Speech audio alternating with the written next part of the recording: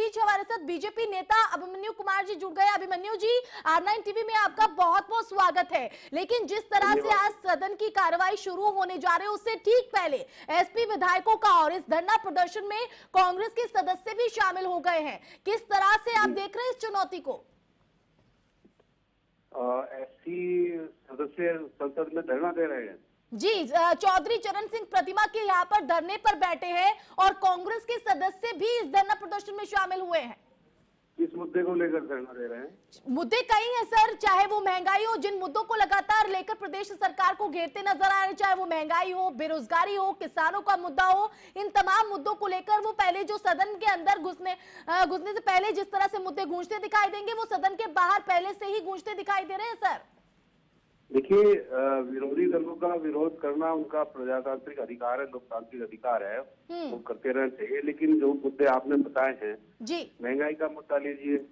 अभी जो महँगाई है वो यानी चार परसेंट के चार और पाँच परसेंट के बीच में है। हम्म। जबकि जब महँगाई की एक एक समय वो था कि ढाई अंक में जा रही थी जहाँ तक बेरोजगार बेरोजगारी का मुद्दा है तो पाँच करोड़ इस देश में नौकरियाँ हैं अभी तक कुल मिलाकर ऑर्गेनाइज सेक्टर में। जी। और 130 करोड़ की आबादी है। हम्म। तो ये क्या संभव है कि सभी को नौकरी मिल जाए? हाँ रोज़गार की बात हम करते हैं। तो सबको रोज़गार मिले ताकि लोग कोई भी ऐसा ना हो जिसके जीवकोपार्जन का साधन ना हो। उसके लिए स्वराजगार स्वरोजगार के लिए जो जो भी संभव सहायता है अव- अव- अवसर है वो मुद्रा बैंक की योजना के थ्रू हम उसको सबको दे रहे हैं ताकि अनऑर्गेनाइज सेक्टर को फले फूले तो स्वरोजगार लोग करें उसमें रोज़गार से जुड़े। लेकिन अभिमन्यु जी।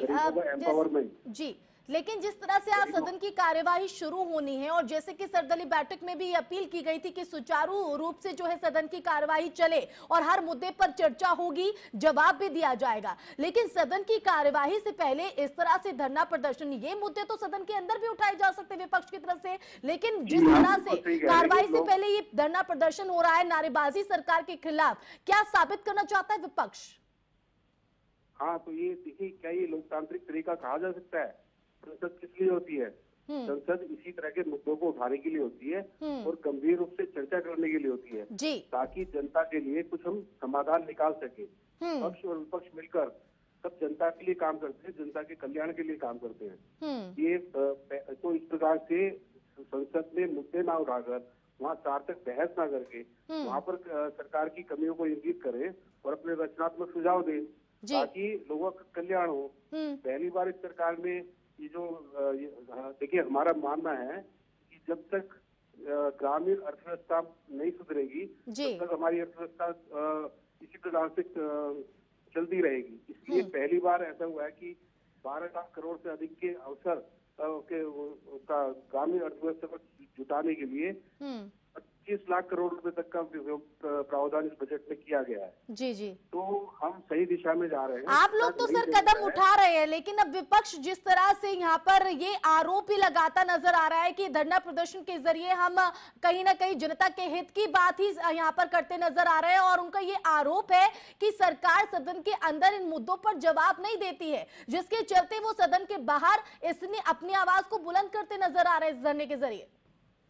देखिए अब ये उनका अपना सोचने का तरीका है लेकिन लोकतंत्र में अंतिम निर्णय जनता का होता है। अभी अ, चार पाँच महीने पहले ही अ, 2019 के हम चुनाव हुए लोकसभा के। विपक्ष गया हम भी गए अपने कार्यक्रमों को लेकर गए। हम्म और क्या परिणाम जनता ने क्या दिया? कि उससे पहले से ज़्यादा अधिक बहुमत के साथ उन्होंने हमको सत्ता में भेजा है। तो इसका मतलब जनता का भरोसा हमारे पर बना हुआ है और हमारा जनता के ऊपर भरोसा बना हुआ है। चलिए अभिमन्यु जी फ़िलहाल बहुत बहुत शुक्रिया आपका जुड़ने के लिए। तो नेता बीजेपी हमारे साथ अभिमन्यु कुमार जुड़े थे साफ़ तौर पर उनका कहना है कि जनता ने हमें भरोसा किया और उस भरोसे के तहत ही हम कदम उठा रहे हैं। लेकिन जिस तरह से विपक्ष की तरफ़ से अब नारेबाजी करते हुए सरकार के खिलाफ आवाज़ को बुलंद किया जा रहा है और इसी पर ज़्यादा जानकारी के लिए हमारे संवाददाता नरेंद्र यादव लाइव जुड़ गए हैं और उनसे जान लेते हैं कि क्या कुछ हलचल वहाँ पर देखने को मिल रही है। फ़िलहाल नरेंद्र आपसे जानना चाहेंगे क्या कुछ माहौल इस धरना प्रदर्शन को लेकर? देखिए, इस समय समाजवादी पार्टी के तमाम विधायक धरना प्रदर्शन पर बैठे हुए हैं। आप देख सकते हैं कि हाथों में तख्तियाँ लिए हुए हैं और भाजपा सरकार की नीतियों के बारे में ज़िक्र है। ओबीसी की जनगणना की जाए, विकास विरोधी ये सरकार है, तमाम चीज़ें हैं। रसोई गैस के दामों में चाहे वृद्धि हो, चाहे किसानों की समस्या को लेकर हो, आप देख सकते हैं ये तमाम विधायक यहाँ पर मौजूद हैं। यहाँ पे समाजवादी पार्टी के प्रदेश अध्यक्ष नरेश उत्तम पटेल भी मौजूद हैं। विधानसभा प्रतिपक्ष के नेता राम गोविंद चौधरी मौजूद हैं और ये तमाम विधायक यहाँ पे मौजूद हैं, आप देख सकते हैं। और सबके हाथों में तख्तियाँ हैं और सभी लोग सबके कुछ ना कुछ हाथों में कहीं स्लोगन ना लिखे कहीं हुए अलग हैं अलग रोजी रोटी यहाँ पर नरेंद्र देखने को मिल रही है अलग अलग मैसेज देने की कोशिश कहीं ना कहीं नज़र आ रही है लेकिन हम चाहेंगे क्योंकि एक बड़ी संख्या में यहाँ पर एसपी के जो विधायक नेता है जैसे कि आपने बड़े बड़े नेताओं का नाम भी लिया है हम चाहेंगे कि आप उनसे एक बातचीत करने की कोशिश करें और जानने की कोशिश करें क्योंकि आज सदन की कार्रवाई शुरू हो रही है वहाँ पर भी ये मुद्दे उठाए जा सकते हैं। तो सदन के बाहर इन मुद्दों को उठाने की क्या वजह? बिल्कुल, हम बात करेंगे, हमारे साथ मौजूद हैं, राजेश यादव एमएलसी हैं और गैस सिलेंडर लेके आएँगे आए हैं और जिस जिसपे गैस की महँगाई का ज़िक्र ये कर रहे हैं कि लगातार गैस महँगी होती जा रही है। आप देख सकते हैं, प्रदर्शन में बैठे हैं। आपको सदन में बात उठानी थी, इससे पहले प्रदर्शन की ज़रूरत क्यों पड़ी? सदन में तो हम बात रखेंगे ही, लेकिन समाजवादी पुरोधा चौधरी चरण सिंह की प्रतिमा पर उनके हम धरना इसलिए दे रहे हैं क्योंकि भारतीय जनता पार्टी की सरकार में लगातार महँगाई बढ़ रही लेकिन भारतीय जनता पार्टी की सरकारें, चाहे केंद्र की हो, चाहे राज्य की हो, महँगाई के नाम पर नहीं बात करना चाहती है। कल ही डेढ़ सौ रुपया प्रति सिलेंडर पर बढ़ाने का काम किया है। दिल्ली में चुनाव हार गए, उसका भुगतना पूरे देश को पड़ रहा है।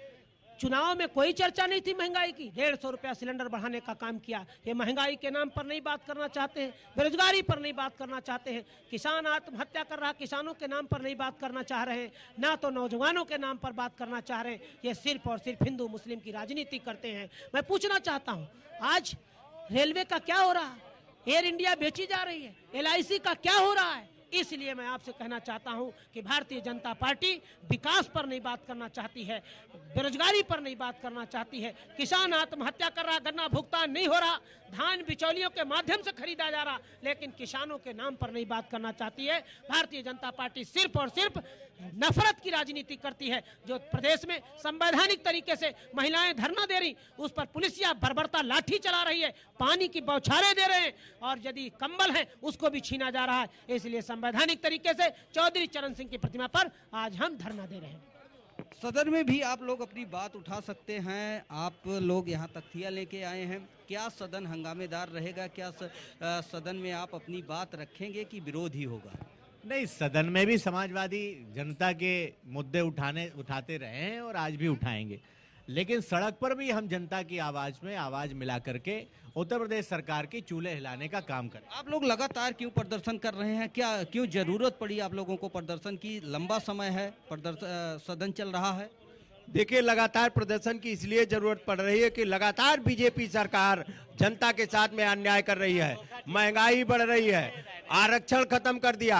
हम बैकवर्डों से क्यों घबरा रहे हैं? ये इनको, ये बीजेपी सरकार बैकवर्डों से क्यों घबरा रही? हाँ हमारी जनगणना क्यों नहीं करा रही? माननीय अखिलेश यादव जी लगातार मांग कर रहे हैं। सत्रह जातियों को कच्चम निषाद लोगों का आरक्षण खत्म कर दिया और कानून व्यवस्था पूरी तरह ध्वस्त हो गई है। महँगाई चरम सीमा पे बढ़ चुकी है।